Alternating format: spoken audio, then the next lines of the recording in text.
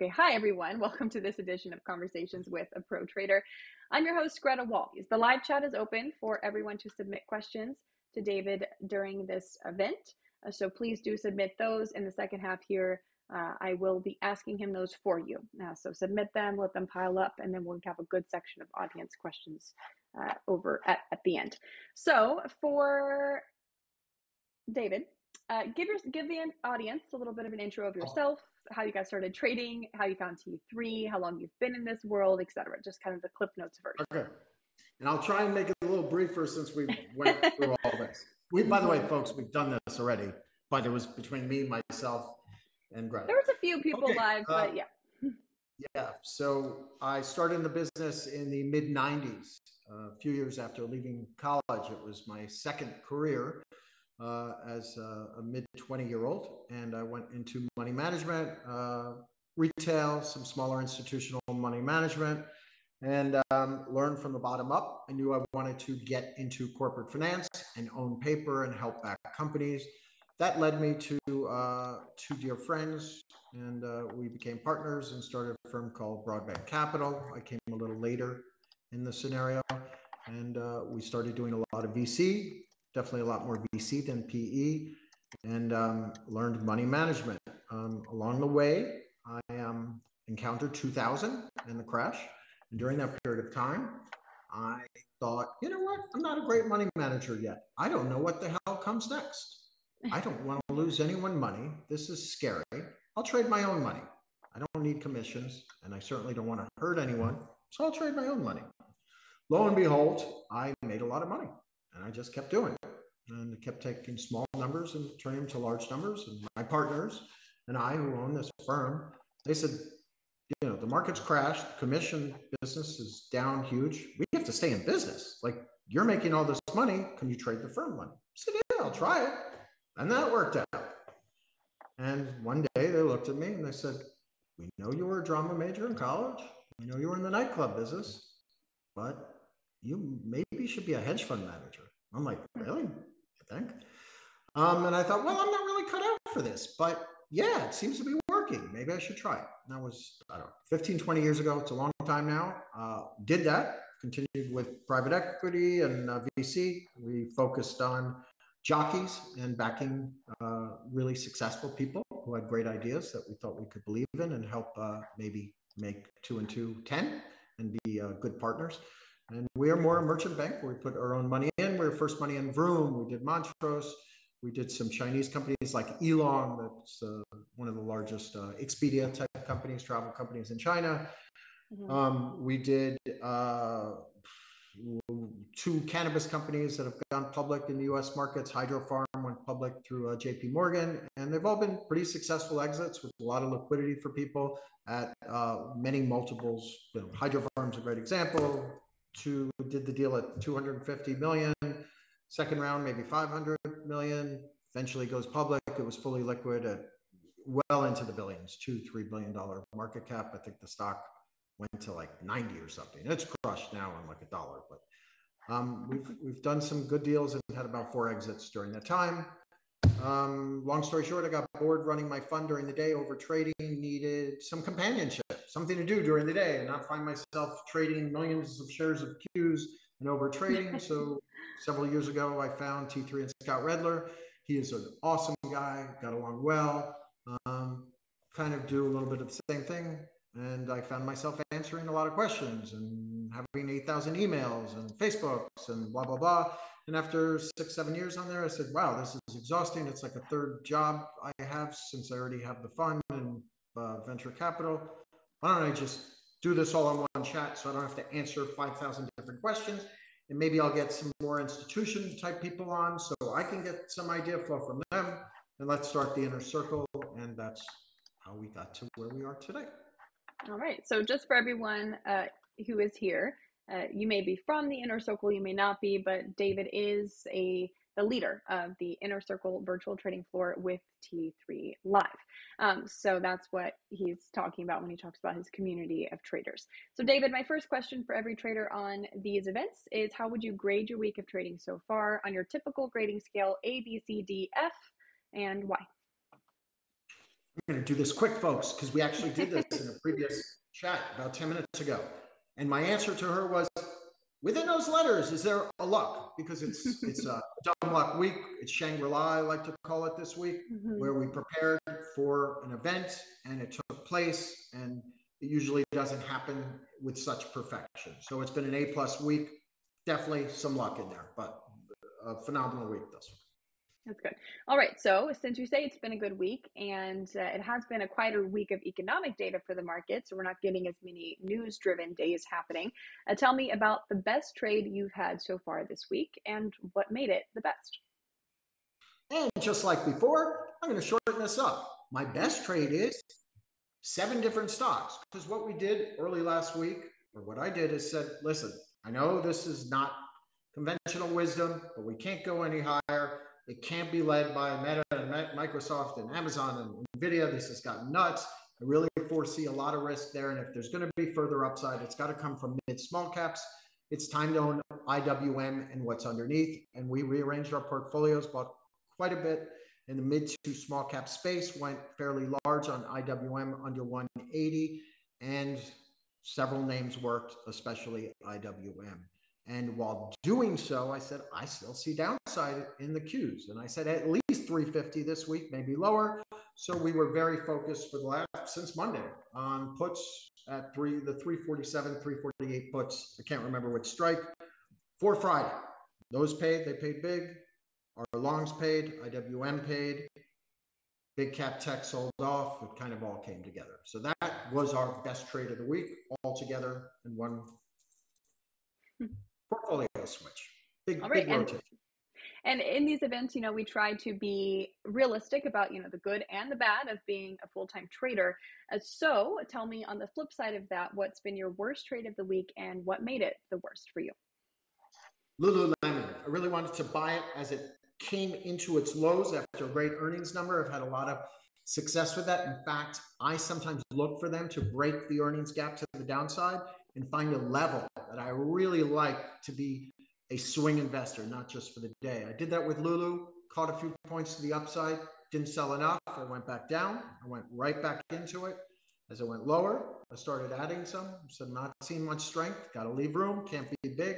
Tomorrow, if we don't see some strength, if we don't see the stock firm, and it doesn't hold this 350 to 360 area, it's a bad trade.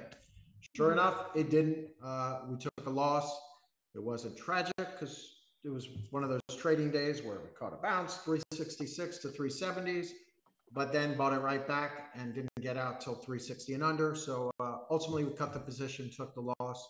And as I told you previously, when it was just me, you, and myself, uh, I was a little upset. And I looked at it today as low as like 352 and realized, oh, taking a loss wasn't so bad because it would have gotten a lot worse. So mm-hmm. that was our that was our loss of the week. All right. Uh, so every trader kind of has their personal process for how they pick a stock and then what they do with that stock afterward, whether it be, uh, you know, how you scale out of a trade, etc. So tell me about how you, or walk me through rather, your process for making a trade. So what I like to do is actually know what the company do, does. And there's a reason for that because a lot of people are like, hey, the chart will tell me everything I need to know. Um, first off, I manage money. I don't just trade charts. Um, but more importantly, I believe a stock's movement is based on the concept and the story, not just revenue and earnings.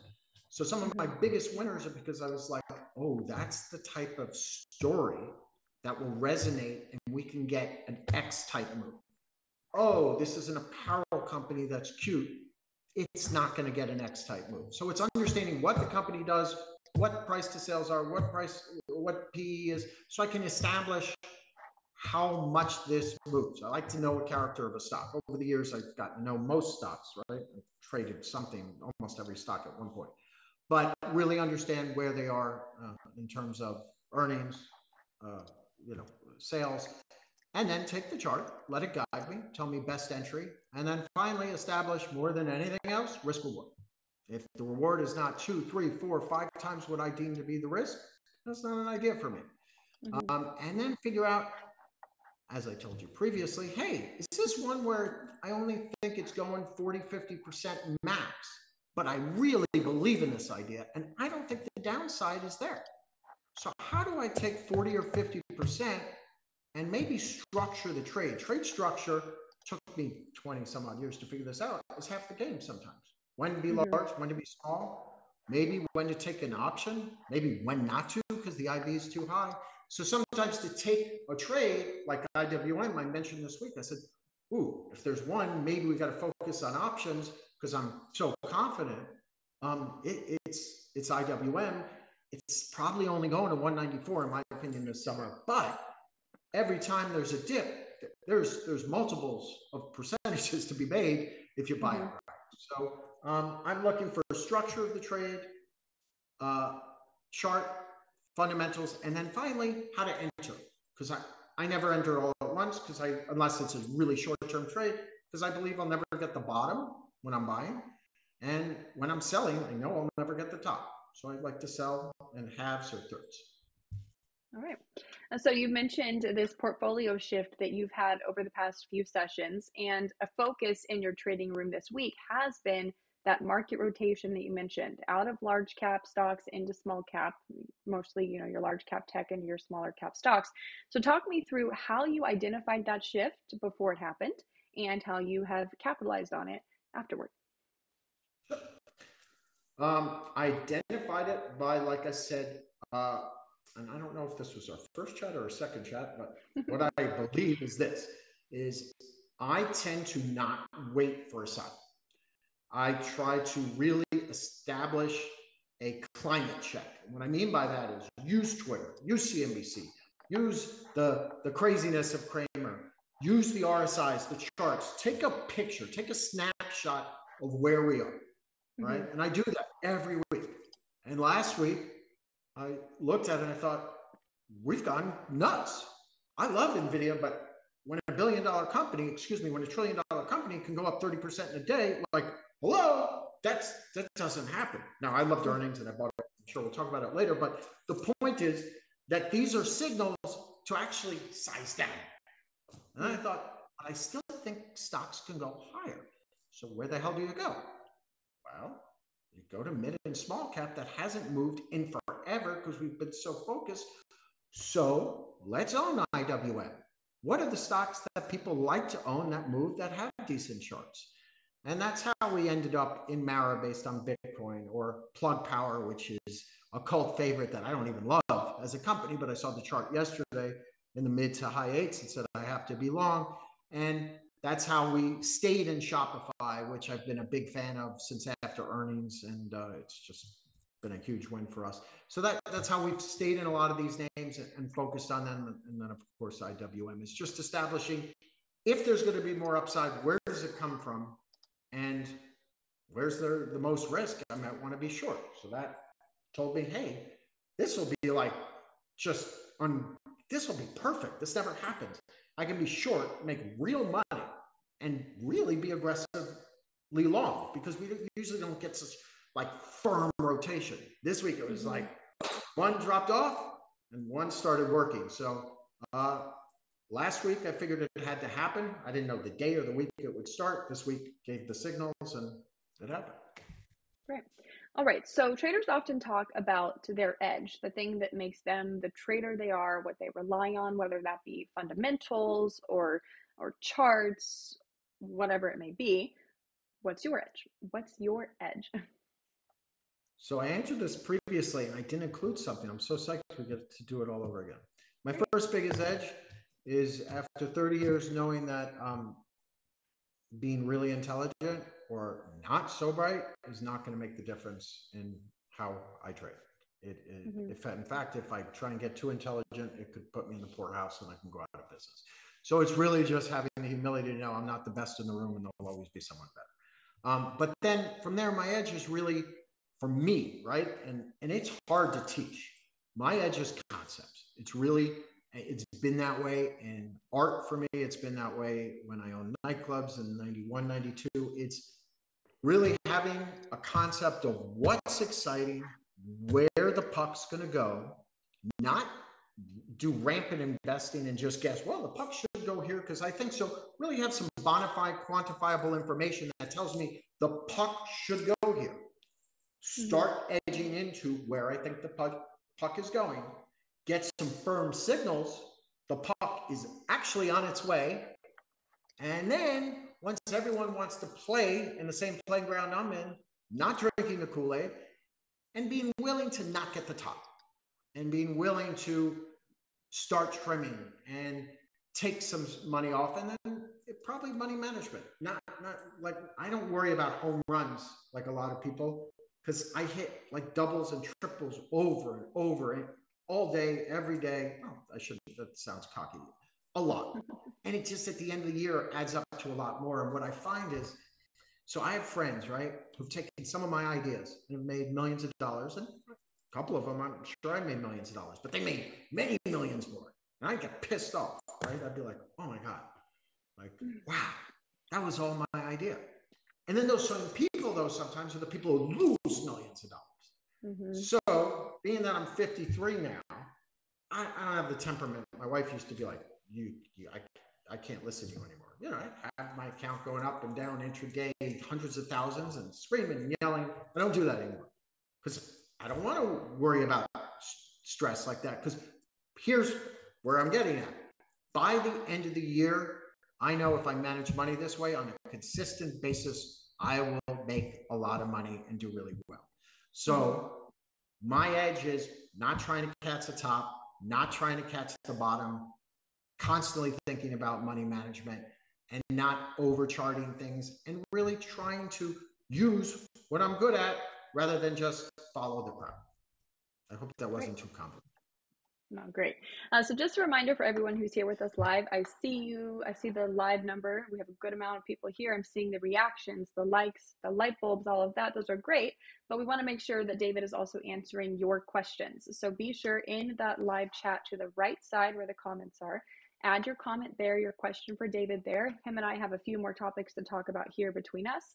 Uh, but then we'll be getting to those audience questions. There's a couple there already but please submit them now so we can make sure we have time for them at the end. You don't want to be submitting them right at the end as we're kind of wrapping things up. We want to, you know, have time to get to all of them. So please do submit those right now. so uh, Dave, David, we've talked about how you know it, has been a quieter week of economic data. We're not getting as many news-driven days this week. Next week, we'll talk a little bit later about it's going to be a big one.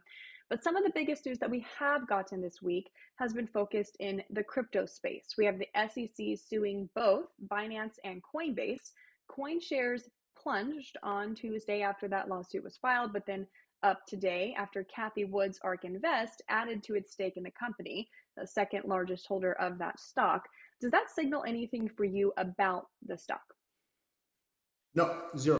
Um, although I was a fan of Cathie early on, like I loved her way before ever she became so famous. Uh, mm-hmm. Big fan of just how she did things. I didn't realize she was an awful money manager, but I liked her foresight and how bright she was. So no, because she's not a money manager that I deem really to be someone to follow. It didn't signal bad or good. Um, but like I said to you earlier, uh, what I really saw this week, which is a trade I didn't mention, is I saw tremendous strength in Bitcoin as mm-hmm. the SEC was going after uh, Coinbase and uh, whatever the firm is, I'm forgetting now, Binance. Binance. Mm-hmm. And I'm, I'm seeing Bitcoin back over 26,000. And I told the inner circle, or the group that we're involved with, and I looked and I said, guys, it's as simple as this. I've told you for a couple of years now. When stocks go up on bad news, that's about as good as a buy signals you'll get. And when stocks go down on good news, you don't get a stronger signal than that. So I said, time to be long Bitcoin, at least for the short term. I'm not going to drink the Kool Aid. I'm not too excited about Bitcoin long term. I'm not too negative, but there's money to be made here and now. And we actually got long Mara. So no, Cathie didn't signal anything, but Bitcoin itself gave us a strong signal when it said, eh, I don't care what the SEC is doing or Gensler on CNBC. It, we're going high. Uh, so we did get long, and I was pretty vocal about it when it was 26.1, and I think it went to 27,000. I like to play the short term edges on Bitcoin. I don't love it as an asset. So that, that was the signal. Yeah. Okay. With these uh, lawsuits that have been filed now against, again, Binance and Coinbase, the two largest crypto exchanges in the world, do you see any type of shift happening in the crypto space as a result of this action? Um, so, yes and no. Here's what I see I see uh, if someone's interested in Bitcoin, it's something that's bullish because it was bound to happen right? Mm-hmm. So it, it wasn't not going to happen. It was a matter of when. So it's finally happening. As it happens, right? And people absorb it, you kind of take one of the biggest negatives away. Okay, then everyone can talk about it's not a real asset, or Cramer can say it's all a scam. But the real big negative is people cracking down, right? The government cracking down. So if I'm a macro investor in Bitcoin, I love this happening because I'm like, let's get through it. It's almost like a kitchen sink quarter. Let's let's just be done with this because it was on the horizon anyway. Um, so I actually look at it as it'll tell me if I'm right, right? I'm not a Bitcoin bull or bear. But if I'm right, and I'm a big believer that this is a true currency, it is uh, the new anti-establishment. It is a way to protect yourself against devaluation of the dollar and blah and blah and blah. And I'm not making fun of people. I'm just not that guy. Well, then it should hold up in the face of all this. Mm. So let's see. If it goes to 15,000, we go right back to lows. It tells you it probably isn't that real because it shouldn't just react that way. So if I'm a bull, it tells me um, a lot. If I'm a bear, it better react because everything I'm saying and I expect is coming true. So the asset better depreciate. So I think it's a great thing so people can really establish where we are in the Bitcoin and cryptocurrency cycle. Great. All right. So I do want to talk a little bit about what's coming up next week. As I mentioned earlier, it is a big week, arguably going to be the biggest week of the month. We get both inflation data and the Fed decision uh, in that first half of the week. Tuesday morning, we'll get the May CPI report. Tuesday, later Tuesday morning, the Fed meeting begins. Then Wednesday morning, we get the May PPI, and then the Fed decision comes out at 2 p.m. Eastern. Two really big days kind of happening right next to each other for this for traders. So how are you planning to approach next week? I think I'm just going to go to Saint Tropez and wish everyone luck and hope it works out. Um, so I really think a lot when it comes to earnings and big events like the Fed. I also think where is the market? Like for me, mm-hmm. half of the game is where are we going into the event, right? Or expect, expectations built in or not.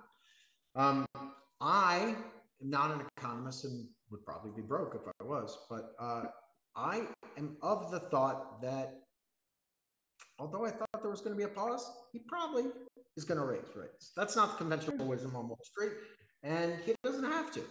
But there, if if his mandate is job growth and really slowing down the economy, well, go on your Facebook and look at everyone in Cannes and look at everyone in Saint Tropez and look at everyone in Aspen and look at all the hotels and people aren't hurting, right? Well, look at the May jobs numbers are not not slowing down. Yeah. So to me, although we're at 60, 65% pause, seems he will. But all of that almost doesn't matter to me. Where it matters is where are we in the markets going into? Mm-hmm. And if we are anywhere near 350 in the Qs where big cap tech has been everything, I think there's more risk than reward. So um, if we correct, now let me walk you a little bit further. So my edge is always thinking a little bit ahead of time, not just charts. And mm-hmm. I told everyone earlier this week, even today, 354 or 5 before came in much. Um, I had a wonderful lady I know forever named Cheryl on my chat. She's like, Qs, what do you think and where are they going to go? You know, are you going to wait till you actually, this is what she asked. And it's a great question to bring up here. Cheryl mm-hmm. said, Are you going to wait till there's concrete information next week to act? Said, No, it'll be too late. Like, what am I going to do with it then? So my thought is if you're an institution and you're sitting on massive profits in NVIDIA, we haven't seen moves like these in years. Meta Earnings are out, right? So now it's the Fed. Are you just being mm-hmm. like, yeah, I'm gonna chill. Like I'm up a ton, I'm gonna make more. No, you, you take some money off the table. So I told her actually we should pull back in big cap tech before Wednesday. So where I'm getting at is if we keep pulling back, my bullishness will go up a little bit. I'm going to gauge where the market is pre the event. If we come all the way in, by the way, the 21 days, all the way down there at like 340, mm-hmm. down there, be a bit actually. Do you think are like pausing this time signal pause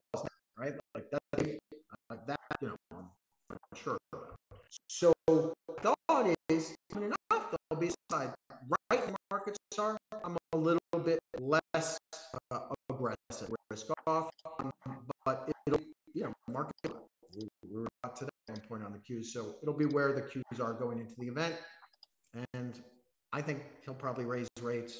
Market doesn't. If he doesn't, I won't be shocked, and if he does, I won't be shocked. Mm-hmm. There's, there's reasons for both, right? San right. Francisco on Monday. I mean, you had mm-hmm. a huge, huge operator of 2,900 hotel rooms give their properties back to the lender, and we mm-hmm. have you know, a million banks still out there that are in jeopardy, regional wise. I shouldn't say a million, but enough to scare people mm-hmm. that this is not over, and raising rates is just going to hurt that situation. But mm-hmm. they keep talking about jobs growth. So my answer is it really could go either way. All right. So now let's go to our audience question. Our first question, audience questions. Our first question is How do you know when to go against the crowd? Um, really good question. I think it's a, a little bit of everything. Um, climate check is really important to how I do things. So mm-hmm. that means it could be as simple as hearing, you know, I, I when I start to hear people on Twitter that don't, okay, I'm really trying to think how to say this in a cohesive manner. So I have a memory for nothing except stocks and how people trade. Like even on my chat, and it's not 50 or 100 people, it's a lot of people. I kind of know everyone's personality, and how they are. Same way on Twitter. Even though I don't know people, I know how they think by how they express themselves on Twitter. So when the novice people, even this week, I can't tell you how many people that I know by how they speak, they could be geniuses. So this is not like how I feel about them, but I know they're not market savvy. Start asking lots of questions and get very loud and not in a bad way, but they have tons of questions about what stocks to buy. I use that. And it usually more often than not works, right? When when things get overheated. I use RSIs. So, um, being that I'm a bit older, I know RSI and big cap tech at 80. I said this exact thing this week. I said, guys, I don't care what they're saying about Meta. More often than not, at 83 relative strength, you're to make money short. May not be easy, and it wasn't. And I had puts and I made money, but it had to go down and up and then down. But the bottom line is there is so much more risk than reward when you have any big cap. I don't mean like a hundred million. I mean all these multi-billion dollar companies. Well, there's no such thing as a hundred million. That's small cap. I don't mean a hundred billion. I mean all these companies that are near a trillion in valuation are at 80 to 85 RSI. So match that up with a lot of FOMO on Twitter. Sometimes people on the chat that are cavalier that are like, oh, I made money on this and I'm I'm buying the upside calls another 10 points higher. And what do you think of Tesla at 230? And I'll be like, you, you know, it's like 200 two days ago, right? um, and they they don't think about risk. That that's to me a signal. Oh, I got to get more short. Um, next, I kind of look at things logically. So December, the world was ending. Everyone felt awful. And I said, okay, well, if we all hate the market, didn't you already sell? You're like, I hate the market. Eh, sell in two weeks. I mean, you, you sold. So who's left to sell? And what happens if anyone buys it? Um, and when the climate's that bad, do you usually make money being long? Especially if you're not buying some cockamamie internet stock or you know some company that has tons of debt with no cash flow. I'm buying the Qs because they represent the best companies in America, and no one cares about them anymore. And everyone says tech is not a buy. So didn't they sell every tech stock already? Okay, I'm going to buy some. Those are the moments. I'm not always going to be right where I do a climate check and really make kind of big decisions. I have no problem telling you because there's sometimes I'm early and I've, I've had a million losers in my career. But Meta was that way at 88. I didn't look at the balance sheet and say, this number can't go. I just said, It is too cheap. This is horrific how it's trading. I have to own it. This is just dumb. I bought it for my son that day because I was like, this is just, this is that negative, right? Cramer's crying on national TV. I'm not making fun of him crying as much as like the stock had gone down 80% and he's crying saying, it's the worst company in the world, don't own it. I was like, these are buy signals where I come from. So that's the answer to that question. All right. Our next question is Are you concerned about a blow off top in the market, especially with this uh, move in the Qs? Is AI creating a bubble or is it real? One, definitely real in my opinion. I, I don't even think it's remotely not real, right? Mm-hmm. When you have a company like NVIDIA that reports 50% upside on a quarter, on a quarter. So they, they don't do like 200 million in revenue, they do billions. So when you have a company literally upside guidance of 4 billion and they're talking about AI, that, that's really real. um, and what it's going to do, the world is real. Now, um, a bubble. I've gone through the cannabis bubble, gone through the internet bubble. I went even through the, what was that business that lasted like two seconds? Uh, 3D printing bubble. I've seen more bubbles than you can imagine. Um, this, this hasn't even started. This isn't a hmm. bubble yet remotely. Bubbles are when you start to see deal. It's when I'm looking at deals and literally half the deals I'm seeing are going to be an AI. It's when you're starting to see companies that just were formed with like literally, I don't know, a hundred million dollar valuation, and some guy just left Google and he's got an AI company, but he doesn't even have software yet.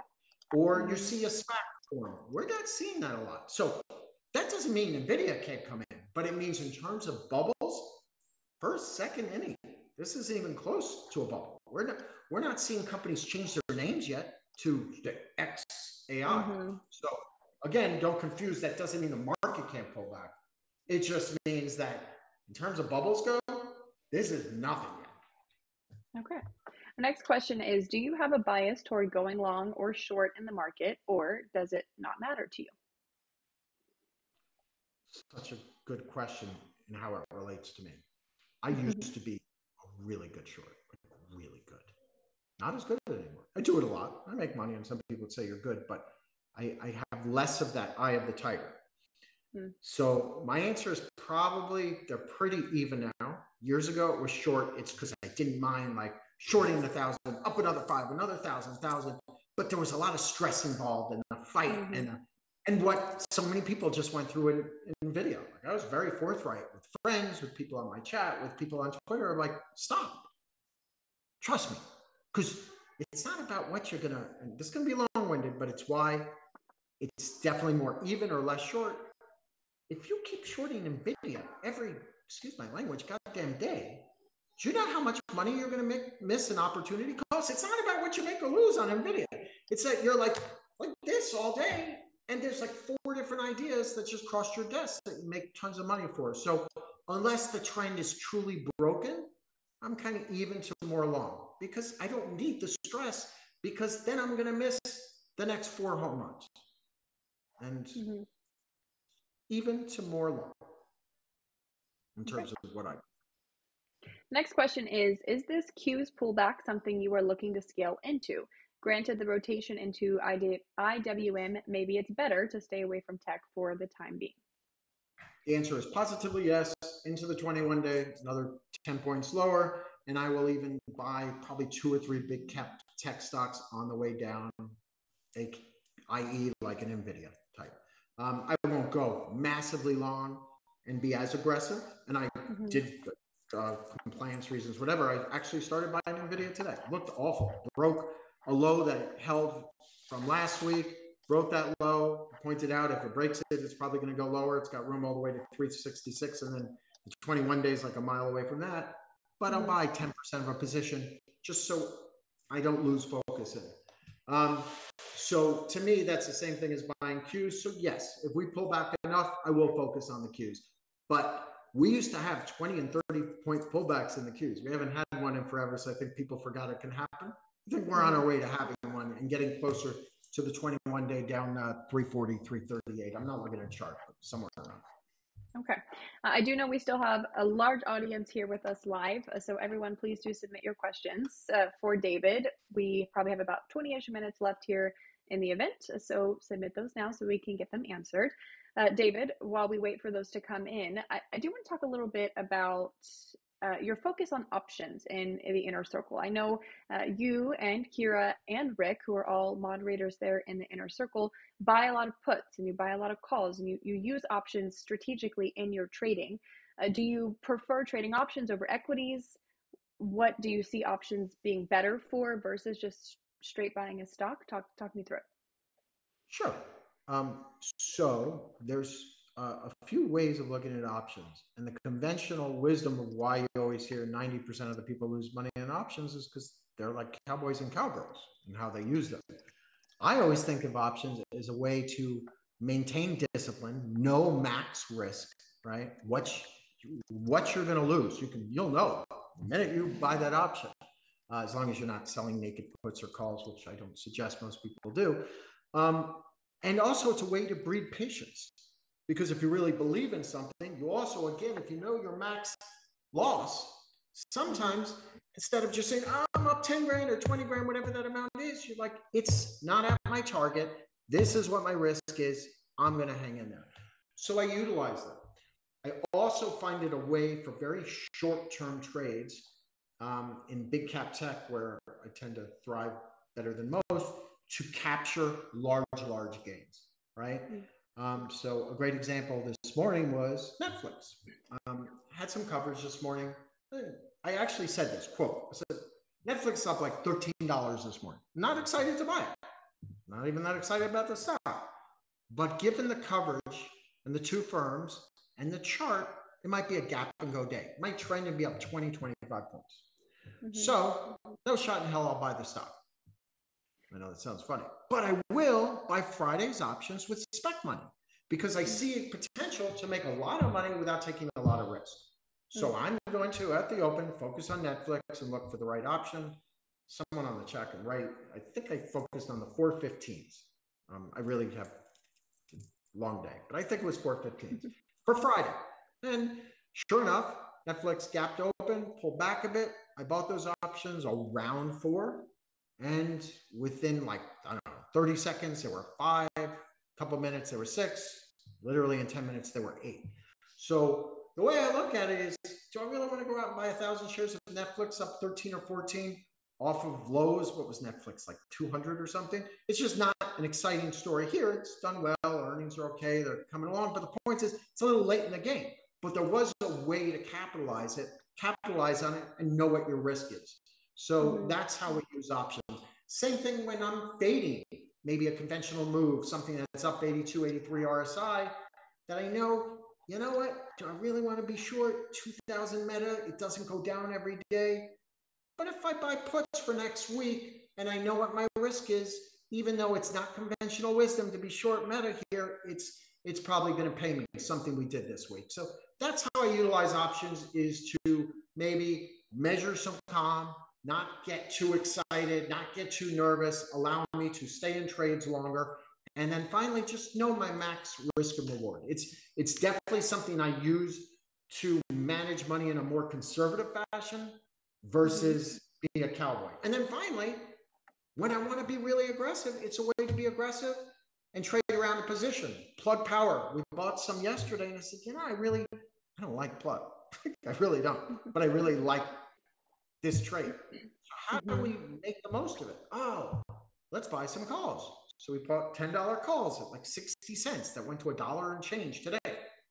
I get it. There's tons of people that make hundreds of percent every day. But to me, you can make like 70, 80% an option in a day. That's a home run. Um, so what a great way to buy stock, but also add some risk without getting crazy. They were 60 cents. You don't have to buy, you know, millions of dollars worth. So that's how we use them is how to put a turbo engine on something without taking um, too much risk and be responsible. Mm-hmm. Great. Our next question is a really great one, I think. He, Robert asked, What hurts more, losing money or missing trades? Oh my God. This is it. Hey, Robert, I don't know. If you're on my chat, I love you. This is like something we talk about all the time. Mm-hmm. So for me, it is 1000% missing something. Always. It is never the loss. I think that comes in from I, I have confidence. Like I, have done this a lot of years, like million bear markets, bull markets, like kind of mm-hmm. okay. I know I'm gonna figure it out and make money. But where I'm still at in nearly 30 years is not listening to myself. And mm-hmm. maybe even especially with the chat now where people rely on me, sometimes being more conservative than I used to be when I didn't have so many people relying on me. And what I find is when I don't follow through on something that I put work into and real thought and time and don't allow it to happen and then see profits happen without me, it's not the money. It's I, I want to respect myself and believe buck up. Like you put in the work, like have the strength and the discipline to let it follow through. And then when I don't and I watch it happen, oh, that that'll bother me way more than losing 10, 20 grand on a trade any day of the week. Okay, great. Uh, our, I know I lost it. Uh, we had a question and I refreshed my page and now it is gone. So I'll try to get it back. Um, for you, when you're going into a trade, do you have like a kind of a set stop rule that you follow for every trade? Do you have kind of a set no. strategy you follow, or do you answer. approach Great each question. each trade individually? Yeah, so I really believe, and I don't know why more people don't talk about this. The climate dictates what you should be willing to risk. Mm-hmm. So we are now in a climate that's much more heated. Things have gone really far. Mm-hmm. I don't think there's that much upside, which probably means I should limit my downside, right? So, what I like to say, and I said this on when I was on this uh, wolf thing this weekend, and I said, guys, like I'm really about to get much more aggressive long mid and small cap bio, and I, am going to be more short big cap tech. Um, and I just that that's how I see things. So if I'm doing that, I'm more a trader now. I'm not an investor. Right now, it's mm-hmm. if I'm wrong, I want to get out. If I'm wrong on Lulu, like just get out and take your loss because we are not at the point where everything's dirt cheap and there's tons of upside. So mm-hmm. it's time to be a trader and really kind of envision things and wh- where they can go on the downside, not just the upside. Now let's go back to COVID. Okay, I'm going to put half of my net worth in Amazon, the other part in Shopify, and the other part in a stock that I think is going to be the next Tesla that everyone thought I was crazy about. But the the Amazon was simple. I'm like, okay, so who's more important than Amazon? No one. Zero. Not even Apple. So that, that's easy. And if I die, who cares if I lose all my money? Because my kid's going to die too, because we're all going to die of COVID. So what's the upside and what's the risk? The risk is we die. And I, like, I'm not even trying to be funny. Like it was the easiest trade in the world because if we're all going to die, then it doesn't matter if I lose money. And if we don't die and we survive and get through all this, which is more than likely, or else I wouldn't be focused on investing, I'd be hanging out with my family. If we are going to survive through all this, then who's going to benefit today? Like, who benefits the most? That's Amazon, right? So um, it, it's just, anyway, that's how I go about things. Did I get too long winded? I feel like something. No, no, no. Yeah, you're good. All right, everyone. Like, so what I'm oh here, let me. No, no, no. Keep going. Keep going. No, I, but I, I got the thing where I lost myself. Bottom line, I really didn't deem there to be a lot of risk. And I thought the upside was four, five, ten times what I was investing. So at times like that, God, I really got lost there. It's uh, times like that where the climate dictates how much I'm willing to lose. So I was willing to lose a lot more. I, I had days I was down six figures and was perfectly happy because I really thought there was so much upside if this worked. I don't feel that way today. So the climate and where we are in the markets dictates that for me. Sorry, I got lost. I guess I'm old. No, no, no, you're good. Uh, so for everyone that's with us live, this is kind of my last call for questions. So please do submit those now. Our live number of audience is still very high. So I have not gotten many questions for how high the number is. So please do submit those questions, but I'll keep asking David questions for you. So for traders who may be new, uh, not experienced, or maybe they came into uh, the market during COVID, the kind of gold, Goldilocks market. Everything worked at the time. Now everything doesn't work every single day, all the time. What's your advice for traders who maybe have never experienced a market environment like we're seeing in 2023? I think that I don't know why it's not said more. There's so many just dumb mistakes that, first off, you're kind of going to have to make on your own. But if you can find someone, it's not about paying them, right? I don't care if it's a chat or if it's a buddy. Finding a mentor that you can really rely on, because mm-hmm. stock picking is really not what it's about. It's about position sizing, how to exit things, how to take a loss. And that's what people's, and then how it affects their brain. Like you take a loss and how they screw up in the next trade because they want to make it back the same day.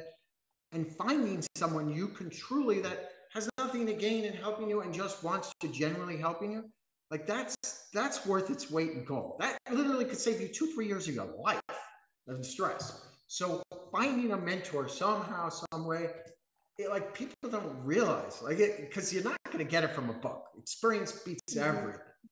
And then the other part is really dealing with the emotions of trading. So I always say, just please read Mark Douglas, read Trading in the Zone, because emotions affect 95% of us. Mm-hmm. Um, th- those are two things. And then use Twitter. Twitter is the most underused product for investing, not to follow like some crazy bucket shop type people. You know, there are a lot of lunatics with tattoos and Testero, uh, Lambos and stuff on there screaming about stocks. It's not about that. There's some like really bright people. People I, I, I would only hope to have that brain that share information. Um, and there are people like me who actually follow them who can tell you to follow that give you information. Like there was a guy out there, think about it, that told everyone and walked them through that Silicon Valley Bank was no longer. Before it was no longer. Mm-hmm. That was free information that literally probably produced hundreds of millions, if not, well, hundreds of millions in profits. That exists out there. So get to know Twitter and utilize it. That's a that's a free like utensil, right? That, that's huge. Now there are a lot of you got to go to ignore 90% of the lunatics, but the 10%, there's some special people out there. So get to know how to utilize Twitter. It's a free, you know, platform that you should use. The next audience question we got is how do you decide on what to focus on day to day? For example, individual stocks versus indices, etc. Risk reward in the shortest period of time. What gives me the most reward with the least amount of risk today versus what do I think is going to happen and transpire over the next few days? So, example, because might as well use today, right? Mm-hmm. What was the first thing I did today? Well, I told people that I thought Qs would continue to come in, although they were higher and looked like they weren't going to, and to continue to hold IWM and trim on the way higher. But the first new trade was, I think, Netflix, because I looked at what was going to happen. I said, okay, if this is going to happen, I'm going to be right. Usually it's going to be right away. It's not going to go down and then up. It's going to give me a quick little pullback. And if I'm right, it's going to run. So Netflix, I thought if it's a trending day and I buy 415 calls and this stock goes to, I don't know, even 420 today, they'll be up two, 300%. I better focus on Netflix because IWM I'm in, it's going to go higher. Because plug I'm in, it's going to go higher. I'll put some sales out on the way, but this is what demands my attention most. And usually there's a two and a three, and I go through that list. But try and figure out, you know, where is my attention needed right now versus what can I look at in 10 minutes? Next question is Do you have longer term option and common swing picks, four weeks plus? He said, I have a full time job, which is hard to trade intraday. Yes, yes to both all the time since the beginning of time. The stocks I own for a year, two years. Uh, and on options, some of my biggest trades are where I look at a theme like biotech sometimes or the Qs, and uh, we'll look for you know mo- large moves over a period of months. My business is not based on day trading; it's based, I, would say, we're 70, 80 percent swing. When things get very volatile, and I feel it's time to put on less risk, but absolutely, my my forte is more swings. It's telling people what I think about IWM, buying it, holding it, and trying to hang in there for the real money as it goes higher. So uh, yes, we do it, and we do it very often on so my, long-term options and stocks. So my kind of closing question here is, as I mentioned at the beginning for the audience, David is the leader of the Inner Circle virtual trading floor at T3 Live. Uh, so David, just tell me for yourself. One second, sorry. I got one right behind me too. She's walking around. Um, so just tell me for and for the audience, how has opening that community and leading that community changed your personal trading? Uh, a little bit too conservative at times, out of fairness. Um, I really I don't like a lot of what goes on on the internet and Twitter and uh, you know just the, the risk taking and people that get hurt, right? Um, and uh, I, I tend to worry not because I'm Mother Teresa, it's just how I'm built. So I'm not like the nicest guy, but I do worry about others probably more than myself. Um, in fact, my hedge fund did the best when I kicked out most investors and didn't have to worry about whether I performed for them. I, I just have I don't know, Jewish conscience or something, whatever you want to call it. Um, so sometimes I get a little conservative, but it also enables me uh, on the good side to um, think through things. In other words, have a process and plan a little bit better because I have to plan for everyone else, which means sometimes I have to plan for me.